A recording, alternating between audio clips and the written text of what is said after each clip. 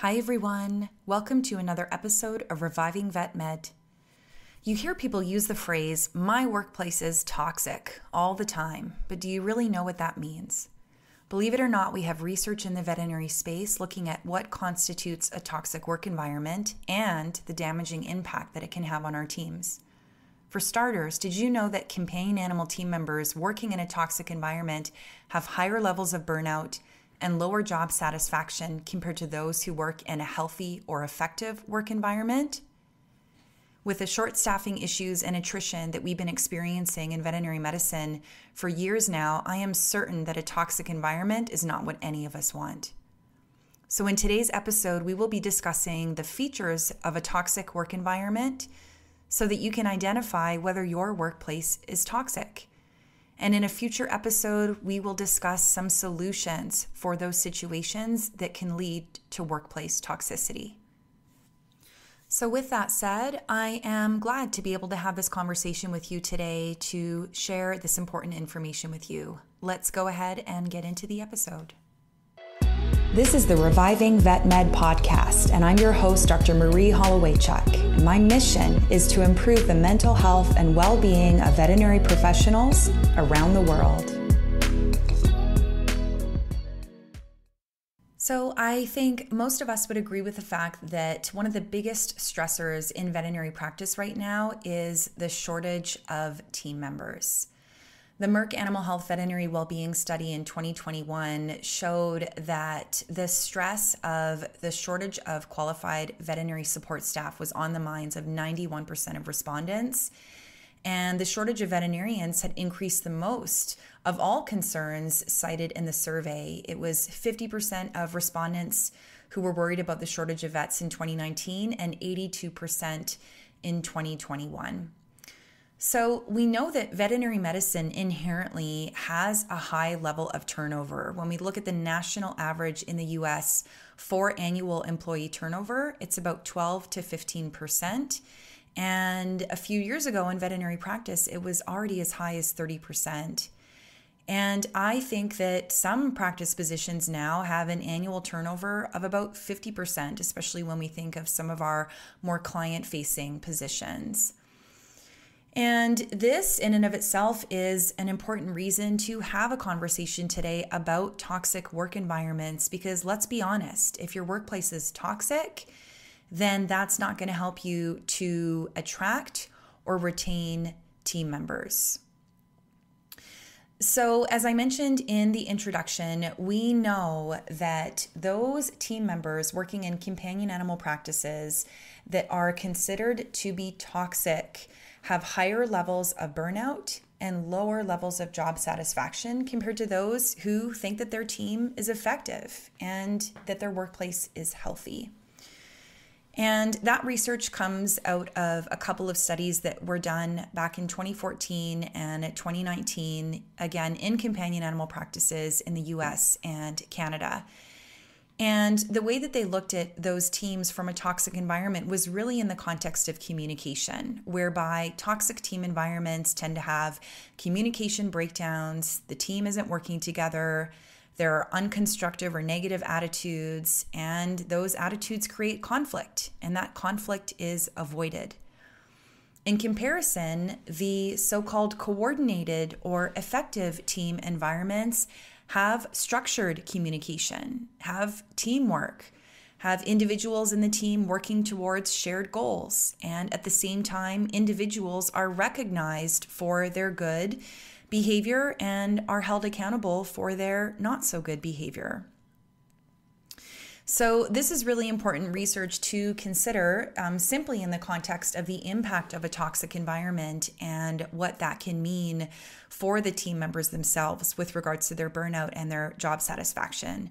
But at the end of the day, what is it that really defines a toxic environment? And I'm happy to say that once again, we do have some research information related to this. And this information comes from a study that was published back in 2015 in Frontiers of Veterinary Science. And that research comes from Dr. Moore and colleagues out of Southern Ontario. in a paper called Exploring the Impact of Toxic Attitudes and a Toxic Environment on the Veterinary Healthcare Team. And this research was done in the form of focus groups where they did interviews with multiple different members of different companion animal teams in southern Ontario, Canada. And so I am going to be breaking down the findings from those papers in the rest of our episode for today. So, the first things that the authors determined were contributing to toxicity in the workplace are toxic attitudes. And they describe those toxic attitudes as disrespect, resistance to change, avoidance of conflict, and a lack of motivation. They also spoke a lot about negative behaviors. And according to the team members being interviewed for this study, those negative behaviors could be leaving tasks for other people on the team to complete, persistent pessimism, criticism of others, demeaning fellow team members, and expressing irritation, anxiety, and insecurity. Now, what's really interesting with negative behaviors uh, is that it's not just the behavior itself that causes the problem, it's all of the reactions and responses to those negative behaviors. So, what we'll often see among other team members is a bit of self protection, where coworkers can become defensive. They might lash out, they might seek revenge, they might do distracting behaviors just just to get the attention off of the negative behavior. They might withdraw from the team. At the end of the day, what the focus group interview, interviews revealed was that the consequences of negative behaviors seem to affect the emotions, moods, and attitudes of the rest of the team disproportionately to the behavior itself. So, again, this is where people say, well, you know, I've got this individual on my team and they're constantly criticizing and demeaning other people, but, you know, they do such a great job and I really don't want to get rid of them. I'm not going to be able to find another team member to replace them. But I think the important thing to consider is what is the damage that this person is doing on the rest of the team? And I can tell you that it's far exceeding those few incidents of this behavior in and of themselves. So, another behavior that the focus group interviews identified was the that's not my job behavior. So, this is where individuals refuse to perform certain tasks. Um, they might think that they're not part of their job. So, this could be, you know, a vet tech not wanting to restrain patients or clean up after patients, or kennel attendant doesn't want to do anything with clients. They say, I'm just, you know, meant to help with the animals or veterinarians not wanting to speak to a client that is not their regular client. So, the issue with the that's not my job sentiment is that others perceive this as a control tactic or an ego problem. And ultimately, both of those things erode the sense of team. People start to feel that everyone's not pulling their weight. Every some people feel, you know, better than others for not being in a position where they will do these things. Now, I'll be honest, sometimes this that's not my job just comes from miscommunication or a lack of understanding about someone's role and responsibility. But at the end of the day, if this is causing issues among the team, then it's worth looking at as a contributor to toxicity. The other thing that we can see, or one of the other things that we can see in terms of um, negative behaviors and attitudes that contribute to toxicity are mood polluters. So these are team members with negative attitudes that might be temporary, so just response to a difficult client or a difficult situation, or they can be chronic, where this person is always you know, complaining about things or they're always being negative about situations. And this tends to have one of two consequences for the team. One is that it can bring the team closer together. They might say, you know what? Despite this negative person, we are going to persevere. So they all kind of band together and keep going. The other is that everyone else can be brought down. So this is going to depend on who the mood polluter is but it's important to recognize the impact that they have on a toxic environment as well. Something else we want to consider is whether or not there is a go to person on the team. So, the go to person is a person who wants to stay in charge, they want to be in a position of power. So, they monopolize certain tasks or duties, or they don't share certain pieces of knowledge. This can lead to a lot of frustration, irritation, or resentment, especially if others look at this quote unquote go to person and they say, Well, I can do those things. I could take over those tasks. In fact, I could even do it more efficiently or more effectively. So sometimes we see this in terms of labels within the practice. Labeling team members can create a sense of unfairness. You know, why is that person the quote unquote lead veterinarian? What did they do to get in that situation and and why do I why do they have to be the person that I go to for XYZ? And again, I think this conflict really comes up when duties for the go to person are not delegated to those who are the most qualified. So when it is a very redundant, sort of, or not redundant, but a very random reason to put this person in a position of power or control. And then, of course, there are some negative behaviors that can lead to toxicity because they don't align with practice values and norms. So, this could be hurtful comments, it could be rude behavior, could be gossiping, could be bullying behavior. Ultimately, this creates distrust amongst the rest of the team and is a huge distraction that often results in time wastage. And I talked about this in episode number 32 when I talked about bullying in the workplace. There's a huge detriment that this has to the team, especially when these behaviors are not held accountable.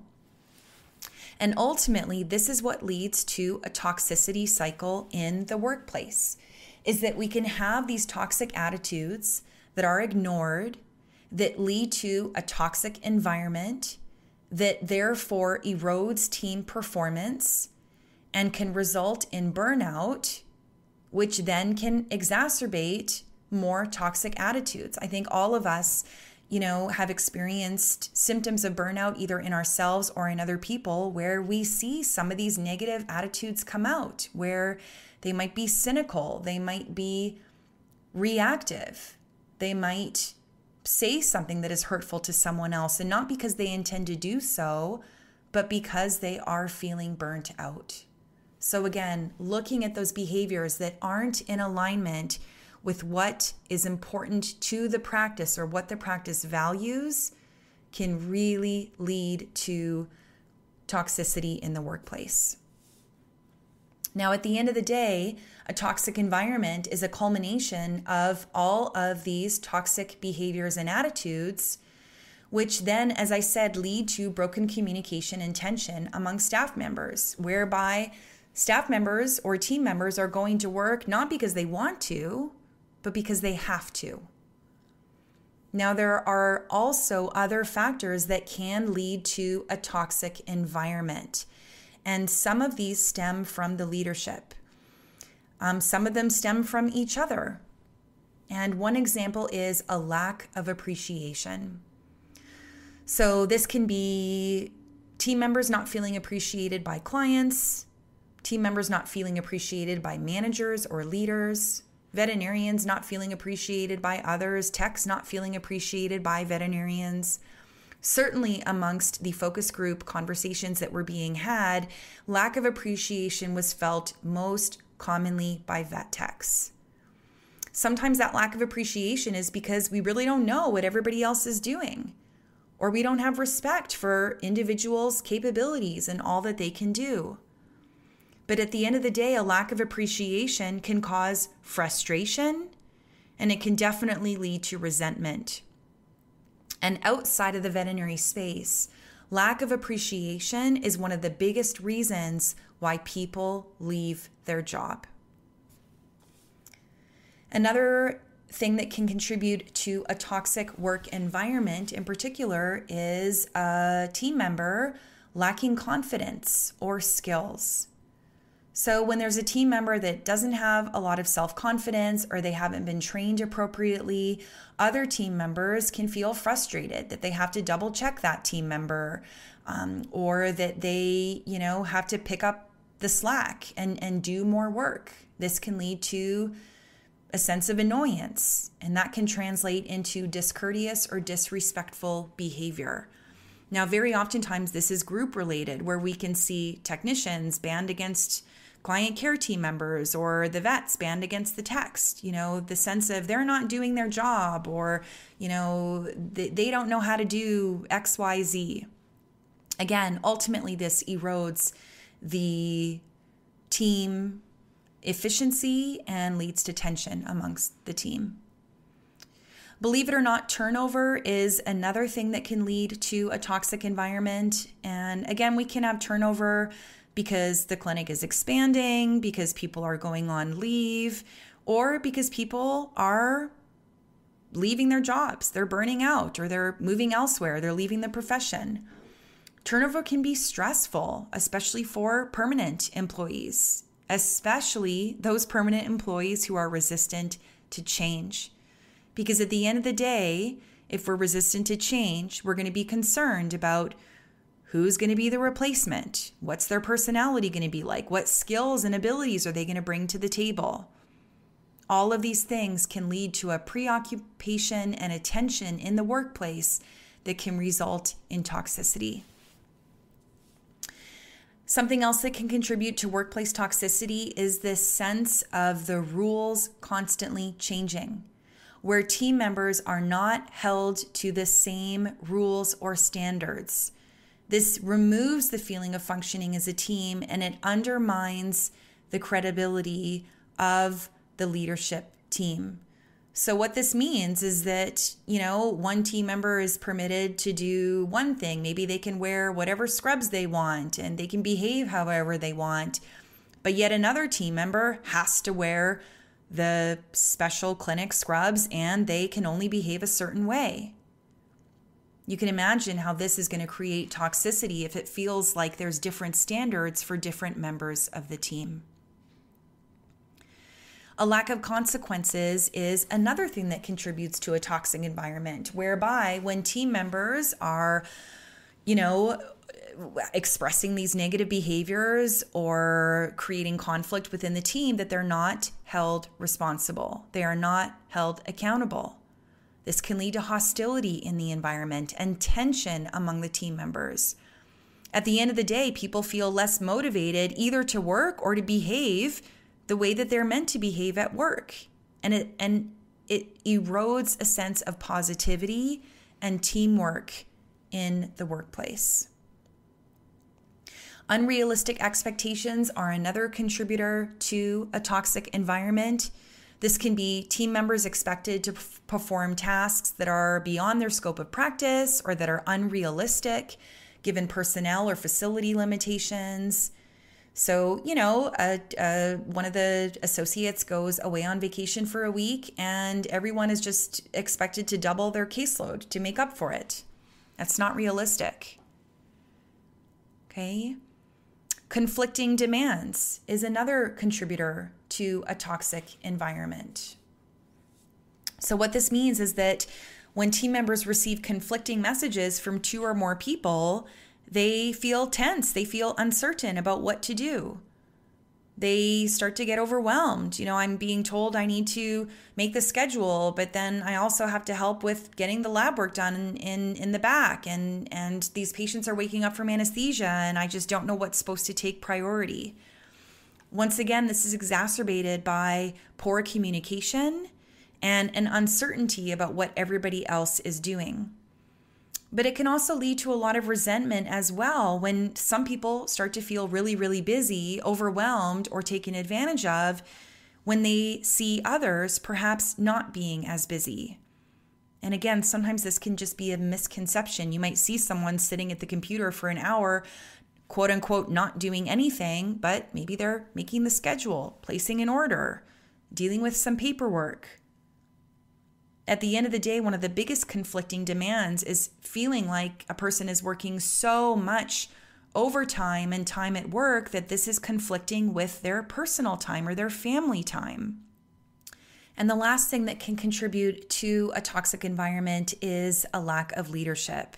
So, this could be that there's multiple owners and the team members just don't know who to go to if they need support, or that the leaders are ineffective in their communication and their conflict management, that the owners or managers are absent. They're just simply not available, or when they are available, they're not fully present or aware of what's going on, or that there's a lack of structure around who to go to in which situations and for what problems. And at the end of the day, this lack of leadership can lead to frustration, resentment, confusion, inefficiency, and ultimately miscommunications among the team, which again, all can lead to a toxic environment. So, when we put all of these things together, you know, the toxic attitudes such as being the go to person, the mood polluter, personality types that conflict with practice values, that's not my job, um, you know, all of those things can ultimately lead to a toxic, toxic environment, especially when they aren't addressed. And then, in terms of contributing to the toxic environment, we can have the rules changing, a lack of leadership, a lack of consequences, not feeling appreciated, having unrealistic expectations, turnover, or team members that aren't trained or do not have the confidence to do their job. And what happens at the end of all of this is that we have situations where employees are not happy, they feel exhausted, they feel burnt out, they don't enjoy going to work because of the tension and the negativity, and ultimately they will end up leaving their job. So, the solutions for these toxic attitudes and ultimately a toxic environment are something I will be addressing in a future episode. And these are also the focus of one of my four week online programs called From Toxic to Terrific, which is aimed at workplace leaders who want to better their communication, foster psychological safety, promote mental health, resolve conflict, and create workplace wellness initiatives. So, if you are a practice owner, manager, team lead, or medical director, it's worth checking out this program. You can visit revivingvetmed.com to learn more. And if you're anything like me and you love taking quizzes, then I have a quiz that can help you to recognize if your workplace is healthy or toxic. So, once again, if you go to revivingvetmed.com, you will see that quiz in the resources section. And I will also provide a link for that in the show notes for today's episode. So, I really hope that you have learned a lot today about workplace toxicity, what it means, and what the consequences are. And I look forward to discussing the solutions with you either in my online program or in a future episode. So that's it for this episode of Reviving Vet Med. Thank you so much for listening. If you enjoyed today's episode, please take a minute to send it to a friend or a colleague. And if you have been enjoying my episodes, I would love it if you would subscribe. That way, you get the episodes as soon as they are released. If you're interested in the assessment that I mentioned in terms of the quiz, or blog posts, handouts, and posters related to veterinary mental health and well being, please visit our new website, revivingvetmed.com. Otherwise, if you have questions related to this episode or suggestions for future episodes, you can email me at info at revivingvetmed.com. I want to thank my amazing assistant Jamie for producing this episode, and I want to thank you for listening through to the end. Until next time, take care of yourself. Bye now.